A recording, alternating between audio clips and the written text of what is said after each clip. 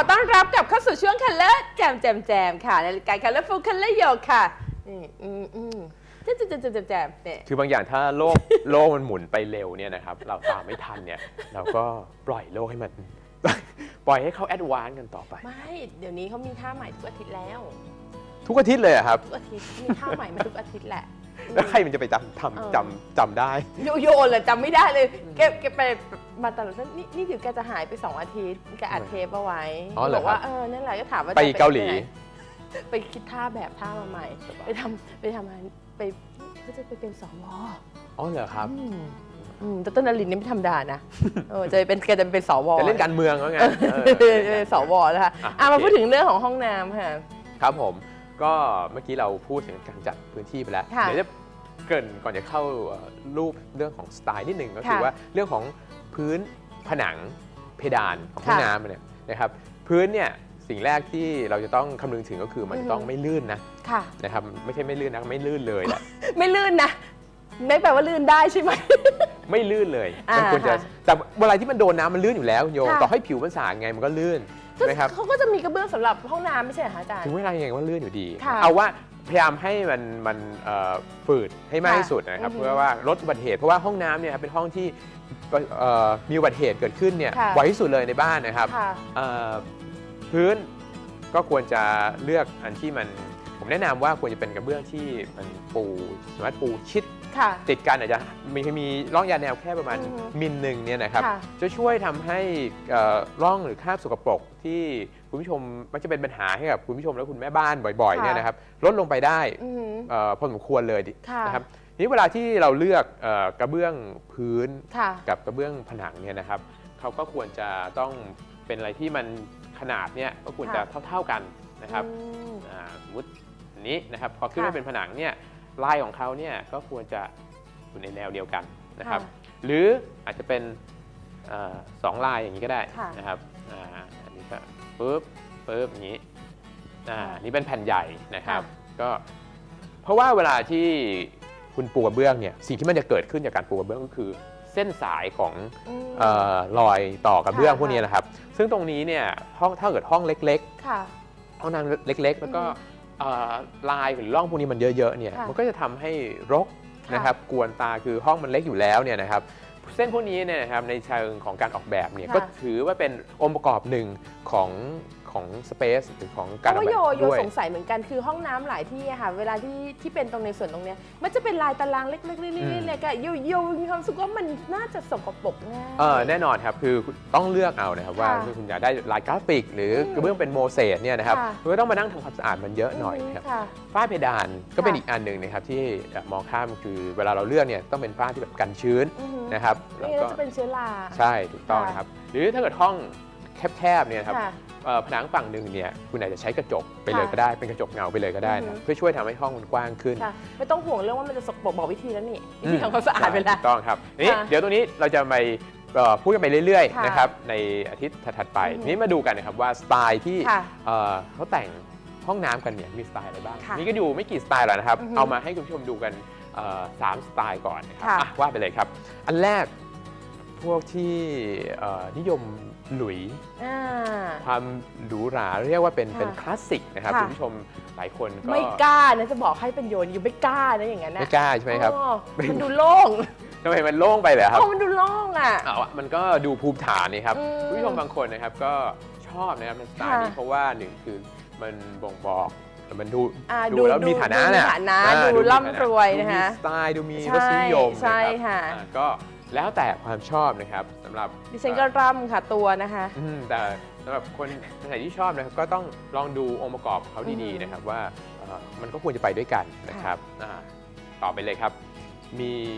คลาสสิกมากๆแล้วเนี่ยนะครับ บางคนก็ไม่ได้ต้องการแบบหรูหราฟู่ฟ้าค่ะขนาดนั้นนะครับอือฮึแต่ก็ยังชอบในสไตล์คลาสสิกอยู่ค่ะก็ลองดูสไตล์นี้นะครับ เป็น modern classic modern classic ค่ะ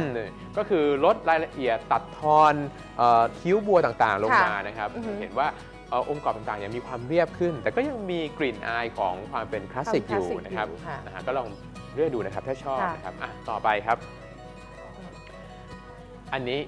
ทั่วเห็นบ่อยมากก็คือสไตล์ modern modern modern เนี่ยนะครับมันตีความได้กว้างมากนะครับค่ะแต่ว่าสำหรับผมนะครับผมก็จะมองว่า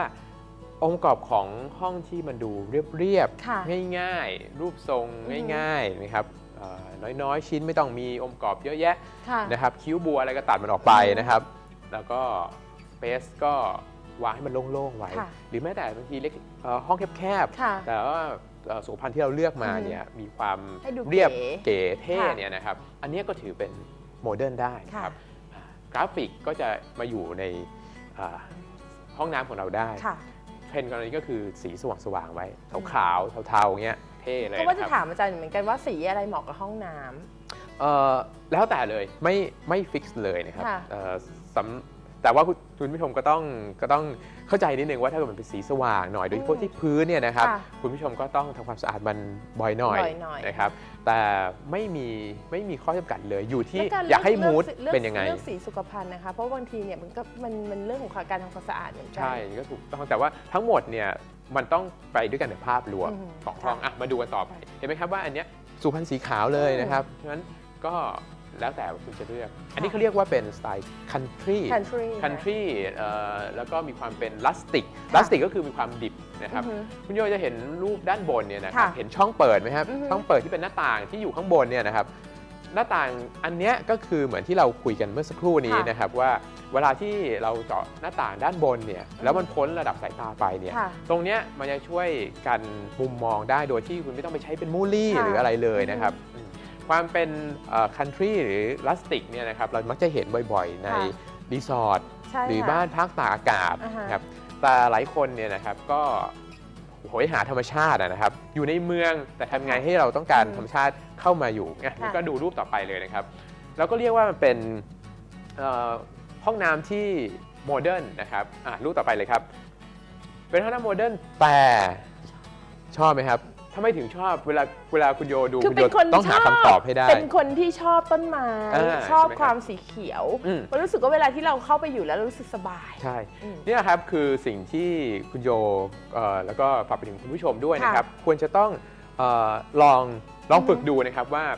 เวลาที่เราเปิดแมกกาซีนเนี่ยนะครับค่ะหรือเราดูรูปต่างๆเนี่ยอือฮึแล้วเรารู้สึกว่าชอบเนี่ยนะครับ ค่ะ เอ่อต้องลองหาคำตอบให้ได้นะครับอือฮึว่าเราชอบมันเพราะอะไรนะครับค่ะ อย่างรูปนี้เนี่ยนะครับผมเชื่อว่าโดยเอ่อองค์ประกอบของห้องเนี่ยค่ะ ก็เป็น modern modern ทั่วไปเรียบเรียบค่ะลองเปลี่ยนสมมติเปลี่ยนไม้เปลี่ยนเอ่อหญ้าเนี่ยเป็นค่ะกระเบื้องซะนะครับอือฮึ ก็จะกลายเป็นห้อง modern เรียบๆเลยค่ะแต่สิ่งที่เขาเอามาช่วยเสริมเนี่ยก็คือความเป็นธรรมชาติ ธรรมชาติผนังที่เป็นหินค่ะนะครับเอ่อทางเดินที่เป็นไม้ ค่ะ แล้วก็ปลูกต้นไม้ปลูกหญ้าค่ะนะครับมีสวนในห้องน้ำเนี่ยอืม องค์ประกอบเหล่านี้ก็จะช่วยทำให้ห้องน้ำดูสดชื่นขึ้นค่ะ ทั้งนี้ทั้งนั้นนะครับสิ่งที่ต้องระวังก็คือเรื่องของแสงธรรมชาติอือฮึที่เราจะเอาลงมาในห้องน้ค่ะำจะสังเกตว่าห้องด้านบนเนี่ยนะครับเอ่อผนังเนี่ยถูกเปิดค่ะขึ้นเป็น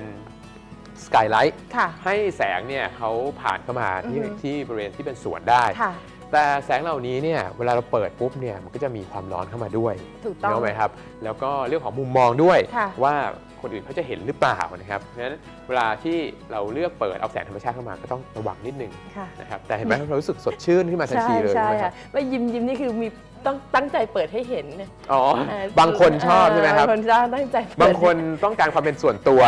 นะครับก็ด้วยการปิดตาตัวเองซะเติมเองสักก็เป็นส่วนตัวหอยแล้วนะครับ เราก็ไม่เห็นใครนะครับ เราก็เป็นส่วนตัวอย่างเงี้ยสงสัยคือสงสัยไงบางคนมีแบบว่าคอนโดไงอืมใช่ไหมคะแล้วทำไมเนี่ยห้องอับห้องน้ำในคอนโดเป็นจะต้องข้างๆต้องเป็นกระจกใสหมดเลยอืมบางคนก็ก็ชอบโชว์ไงครับนะครับก็ถือคติว่ามีดีก็ต้องโชว์นะครับค่ะแล้วก็ปิดตาตัวเองเพิ่มความเป็นส่วนตัวอ่าก็ถ้าเกิด มองกันคนอื่นไม่ได้ก็ปิดตาตัวเองซะนะครับเออก็ไม่เห็นอะไรค่ะก็เป็นส่วนตัวไปอ่าอะทีนี้มันมีอีกรูปหนึ่งก็คือเรื่องของกราฟิกอือฮึนะครับที่เราจะเอามาใช้เมื่อกี้ค่ะเรามีความเป็น modern แล้วค่ะนะบางคนก็อาจจะชอบความเป็นกราฟิกเท่ๆอะอ่านี่เห็นไหมครับจะเห็นว่าผมย้ำเสมอแล้วว่าค่ะในเทรนด์ของการออกแบบเนี่ยกราฟิกเนี่ยจะเข้ามามีเข้ามามีส่ส่วนในทุกๆ จุดเลยนะครับค่ะแต่ว่าเวลาเลือกมาใช้เนี่ยก็อย่าให้มันแข่งกันอือฮึนะครับถ้าถ้า เคาน์เตอร์หรือองค์ประกอบมันมีมีสีสันเยอะแล้วเนี่ยค่ะ พื้นผนังเพดานสุขภัณฑ์ก็เรียบๆไว้ เราทำได้ไหมคะอันนี้ก็ยากหน่อย เนี่ยโยเดี๋ยวเดี๋ยวที่ดูมันเนี่ยเดี๋ยวโยจะเอาเป็นโจทย์ให้เอาไปให้คุณอ่า แจงว่าเราสามารถไปเพ้นเพ้นอะไรท์ได้อ่าได้เออครับอ่า อ่าโอเคครับงั้นเดี๋ยวกลับมาเลยนะครับ ค่ะผมมี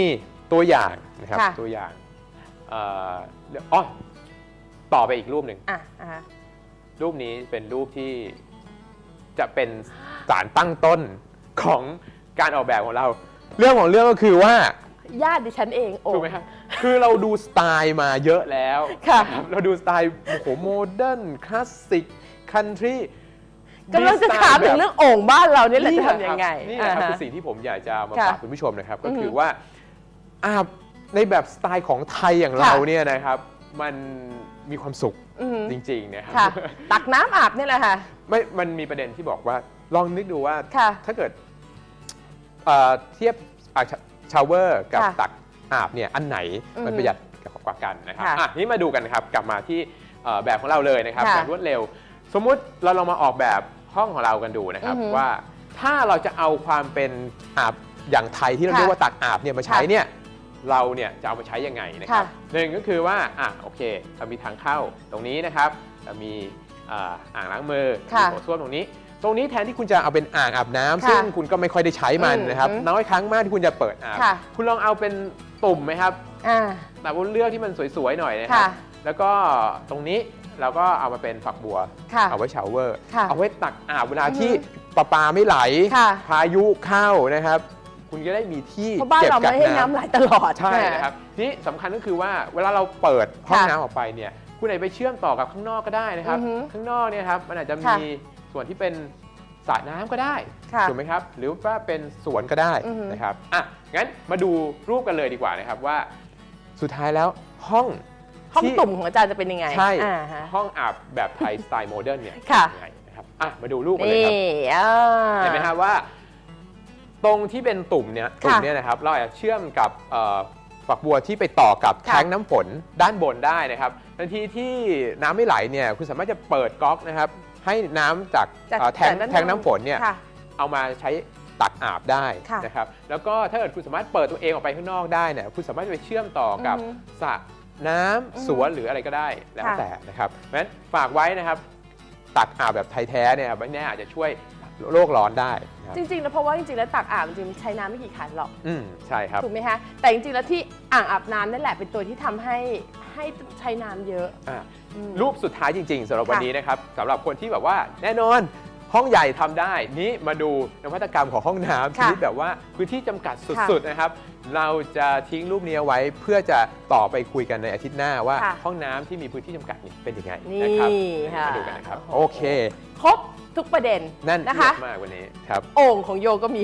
มีนะครับ อยากจะฝาแต่กว่าไว้แต่ว่าในในในอาทิตย์หน้านะคะครัเราบก็จะพูดถึงว่าเราจะทำยังไงให้ห้องน้ำแคบๆนี่แหละอ่ามีใช่ทุกอย่างครบวงจรใช่นะครัคะบแล้วก็ยังคงจะสวยและทำให้เราสุขีได้เหมือนเดิมใช่ค่ะครับห้ามนี่พลาดต้องครับขอขอบคุณอาครัจาบรย์ตองมากๆนะครัคะบอาจารย์นพดลเทพสุวรรณค่ะ ขอบคุณนี่เลยค่ะเฟอร์นิเจอร์สวยๆนะคะ จากโฮมโปรนะคะอย่าลืมนะคะเป็นงานโฮมโปรเอ็กซ์โปนะคะวันที่วันที่ 18 ที่จะถึงเนี้ยค่ะ แล้วก็ขอบคุณนะคะตะแกรงสวยๆจากรุ่งเรืองเทรดดิ้งค่ะขอบคุณทีมงานพักกันเป็นที่น่ารักของเราทุกคนนะคะ ทั้งเบื้องหน้าเบื้องหลังนะคะ ขอบคุณคุณผู้ชมด้วยค่ะ อย่าลืมนะคะพรุ่งนี้นะคะ วันศุกร์นะคะ อืม มีเบื้องหลังเจาะลึก